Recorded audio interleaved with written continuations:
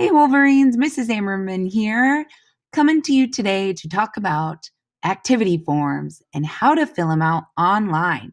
Here we go. First, you're going to want to go to the portal. And our portal that we use is called Planet HS. So you'll type in www.planeths.com.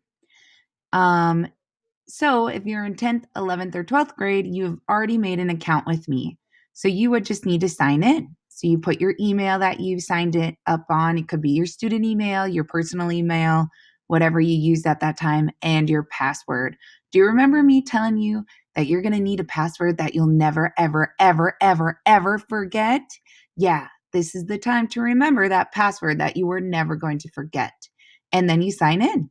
If you're in ninth grade, then you need to sign up to make an account. So you just click sign up.